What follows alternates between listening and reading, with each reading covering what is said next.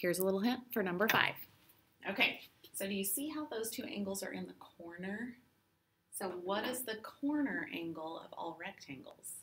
Well, it's 90 degrees. So you will want to add those two together and put it equal to 90. So x plus 2 plus 4x minus 12 will equal 90. So combine like terms. 4x and 1x is 5x. Positive 2 and negative 12 is negative 10 equals 90. And then you solve it from there.